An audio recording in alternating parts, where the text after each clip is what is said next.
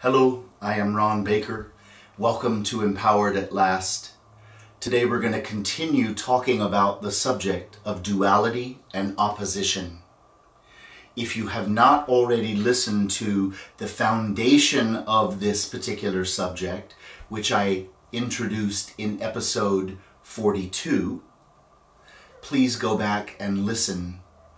Please get this vital education. Our planet is in desperate need of understanding and resolving duality. I'm going to give a very quick overview and then you can go get much more detail from last week's episode. A brief overview is that duality is nothing more than the opposition of two sides. And we all learned some version of duality when we were little kids, when mommy and daddy passed on the limits of their particular comfort zone and they said, oh, that choice does not work. Do my choice. Oh, that feeling is not acceptable. We only allow this side in this house. So some houses, let's just go to sad and happy. Some houses, we're not comfortable with joy and celebration. We don't want to be too loud. We don't want to set ourselves up for too much expectation. We don't want to be disappointed. And we learn to squash the joy and happy. Other houses didn't feel safe with sad. Oh, you don't need to feel sad. You don't need to cry. You don't need to be strong, be powerful. Boys don't cry. Whatever version we learned good and bad, right and wrong. We learned certain parts of ourselves were acceptable, other parts of ourselves were unacceptable. This is huge because now we don't live in the freedom of championing our individuality if I don't feel safe to be all of the parts of myself and learn from all my feelings and learn from many different choices, then I'm taught when I'm very little and very dependent on mommy daddy to provide all my survival needs, we get taught to give up tons of self, to squash tons of self in the name of agreeing with mommy and daddy's comfort zone, which they tended to learn from their mommy and daddy's comfort zone, who tended to, you get the point. We can back up certain family systems who passed on generational limits, decisions about good, bad, right, wrong. This is what we do. This is how we act. And believe me, from having taught thousands of people from lots of different families and cultures and religions and races, not two families fully agree on the list of good, bad, right, wrong. One family is going to say, you need to go in and fight for everything that you want in your life. You have to be the best. And another family is going to teach, you need to be humble and quiet and loving and don't be a pain. Don't speak up too much. Don't be a problem. Now, somewhere in between, self-negation and aggressive, demanding conquering, there is, let me teach you a set of principles and values that champions you as an individual. You're not the same as your sisters and brothers, neither are they the same as you. There are certain things we all share, such as we all have the same nurturing needs. We all want to feel safe and connected. We all want to feel acknowledged, accepted. We all want compassion and respect. Yes, we all share those things, but guess what? You're a unique individual. You have every feeling in the spectrum of possibilities. you have so many perspectives that you're going to grow into that will evolve from stage to stage in your life. I want to champion you to trust your individuality, to champion that and allow yourself to discover and grow and evolve. Don't get caught up in one limited perspective of good, bad, right, wrong, reward, punishment. Instead, embrace values, valuing yourself, treating yourself well, and then valuing others and treating them well. You see, if we had gotten that kind of education because our mommies and daddies hadn't gotten that kind of nurturing education when they were little, the planet would be operating together. The planet would be operating from all of the gifts and benefits of the huge amount of individuals that are on the planet we would learn from one another, we would encourage one another, we would see the benefits that we all have to bring to the table. But if we never learn to trust our own sense of value, we never learn to trust that our own needs could be met, we never learn to trust, period, then we end up embracing mommy and daddy's comfort zone. And then we go out in the world and we oppose anything that's different than what we were taught was the right way, the good way, the acceptable way, the lovable way. And we have to make everything else wrong and bad. This will never work. We cannot transcend a world that is trying to control and dominate.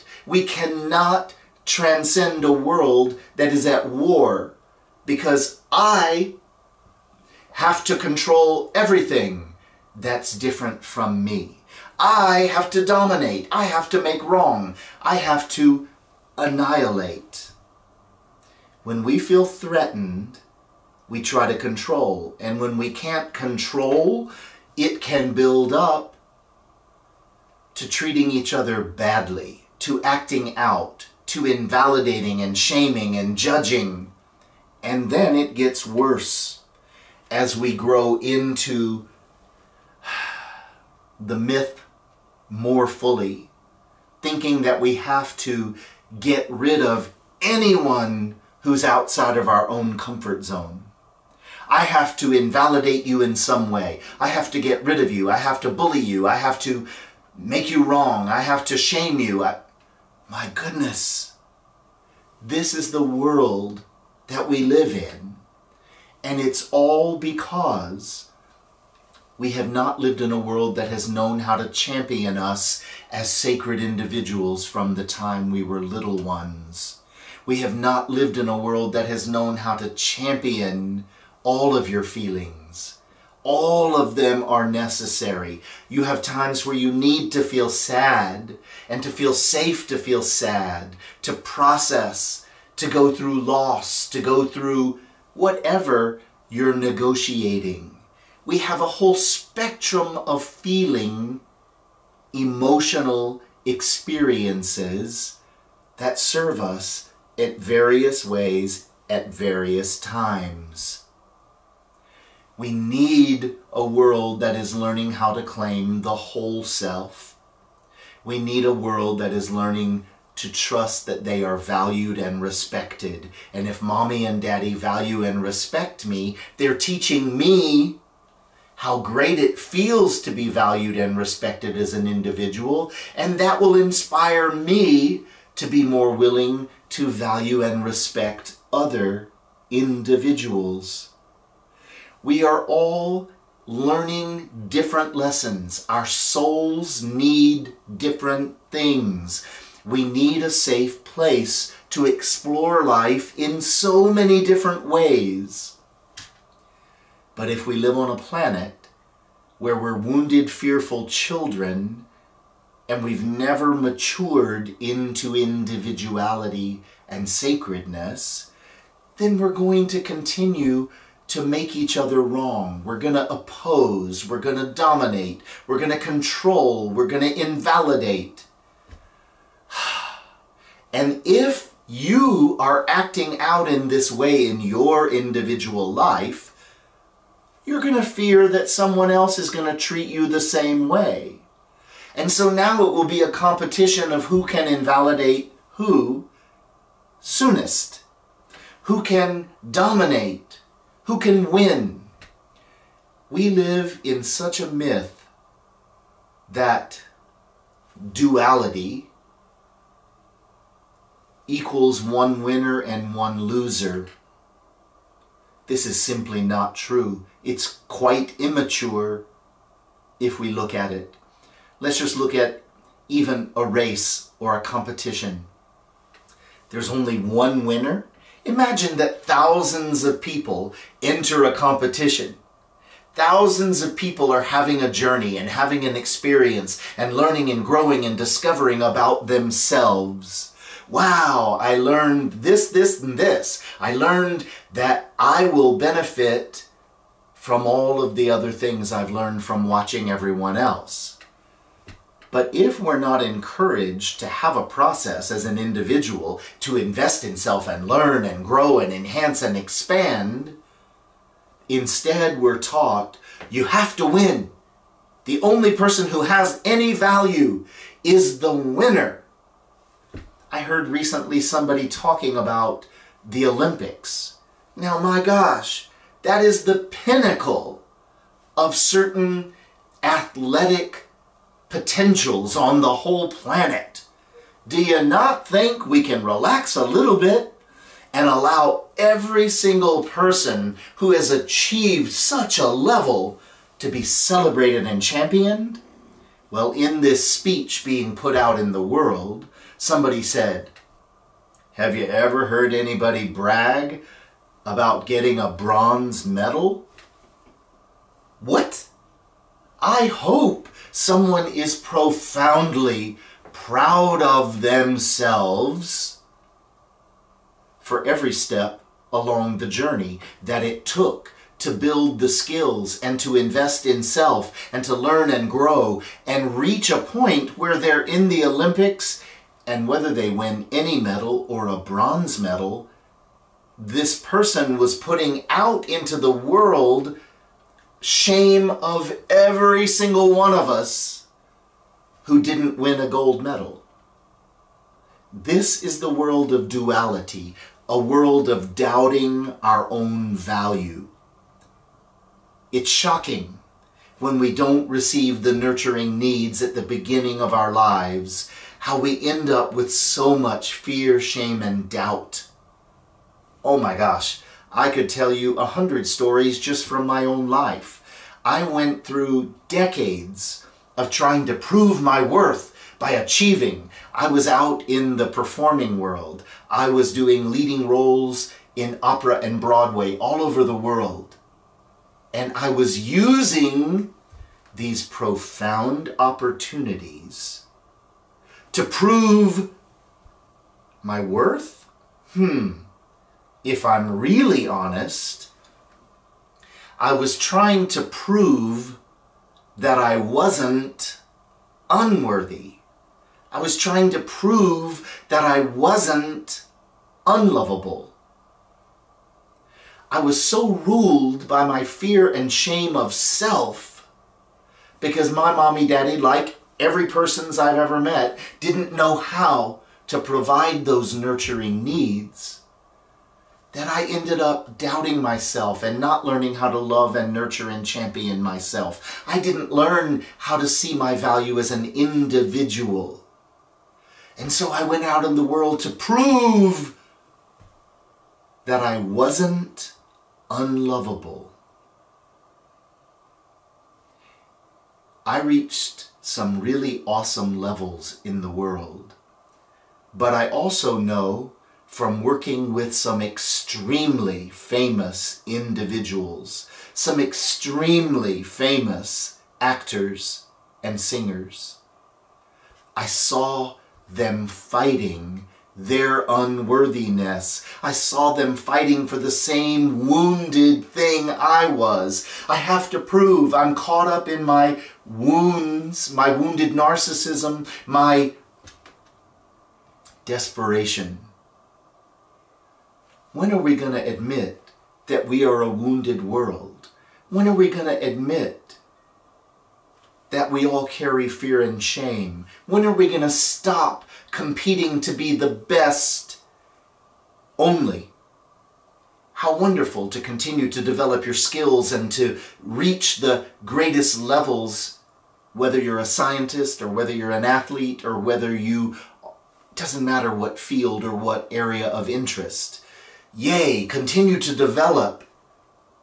But my goodness, when are we going to start working on the inner self? When are we going to start to understand until I learn how to love and value myself as an individual? I can't love you as an individual. I can only love what is in my comfort zone.